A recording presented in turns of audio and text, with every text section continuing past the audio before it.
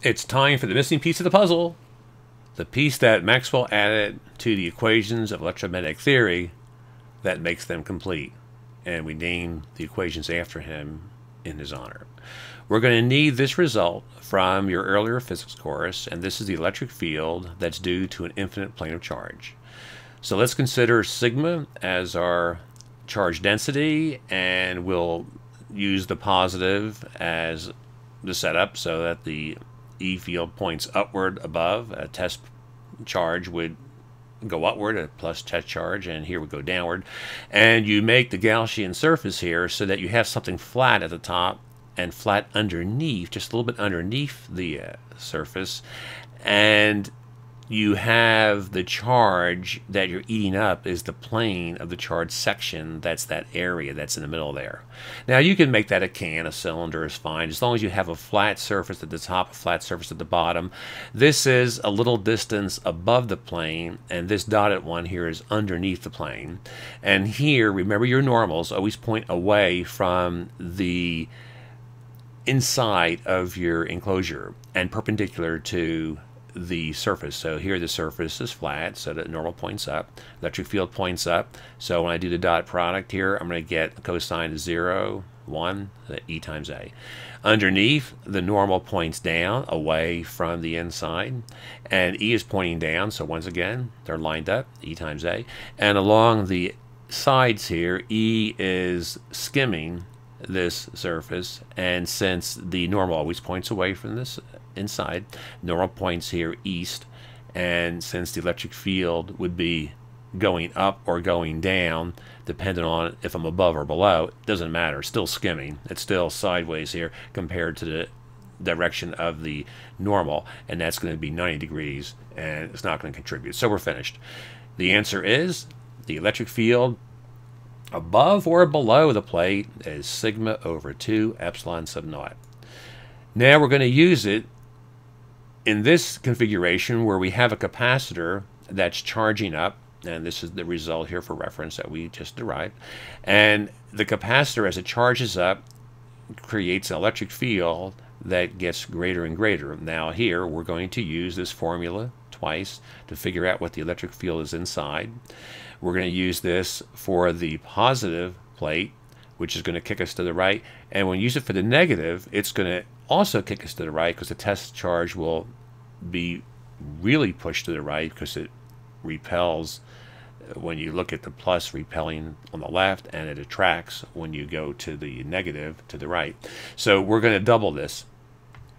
And if we double that, that's the electric field that's on the inside. It's not a constant because the sigma is increasing as we charge up the capacitor. Now here's Maxwell's genius. Maxwell says that if you look at the Amperian path, the circular path here, to get your magnetic field point P1. We did that before. You get B times 2 pi r is mu naught times I, and there's a result. Now, if you do that Amperian path here, you don't eat up any current.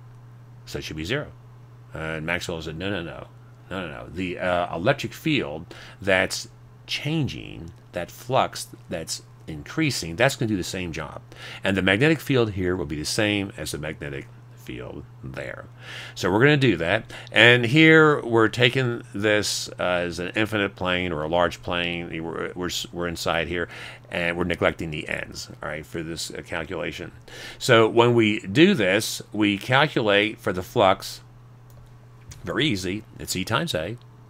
Since here, the area would have a normal, you know, pointing to the right. And for the uh, flux, remember, it's not an enclosed integral. It's just simply a, an area times the uh, vector when you're perpendicular to the uh, the plane. You're parallel to the normal. So that's all you have to do. E times A. It's just the, the, the flux. E times A. And here, when you take the derivative, it's going to operate on the E since the E is growing. So here I'm just going to substitute in here sigma over epsilon sub naught and the A, and then sigma times A is the charge. And then here, when I have the Q, the charge, the D, D uh, or dQdt, uh, that's going to be my current. So look at that, effective current. So you can see now we get the same result here because that effective current is going to do the job that the real current in the wire did earlier. The only problem is I got to get rid of epsilon sub naught. Well, that's what we're going to do. No problem. Here we have the result mu naught times I when you have the regular wire to the left or to right of the capacitor. But here, when you're with the capacitor region, away from the capacitor region, we found that we got this. But we want to get the same u naught i, see on the right. So what we do is we kick the epsilon sub naught and we multiply by mu naught. And if we do that, we'll get what we want. So we'll then have a mu naught i here and get the same result. So let's review that again. Here, if you have a regular wire, you don't have this. You just have mu naught i. That's cool. Then when you have that gap region, look, this is an effective current divided by epsilon sub naught. Well, I need to get rid of epsilon sub naught, so that's what this does. And then I have mu naught i again. I get the same result. The same magnetic field result, whether I'm in the, away from that gap region, we're always a distance r away, or a distance r away in each case, r away. But at P1, the magnetic field would be the same as P2 because we can get the same effect with the changing flux as we do with the real current. And here, this is referred to as a displacement current because when you have changing fluxes in solids or materials, you can get um, the displacement of electrons and things, charges. But what I'm going to do is uh, redefine displacement current for our purposes, and I'm going to say the displacement current is the magic displacement of currency through the gap region, which is uh, my way of kind of re relating displacement current to this problem. And when we add that piece in, we're finished. We have the Maxwell equations and their full glory.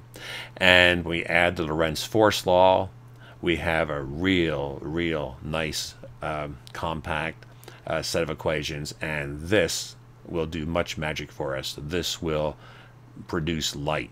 A changing magnetic field will create an electric field, and a changing electric field will create a magnetic field, etc., etc., which we'll see later in our course.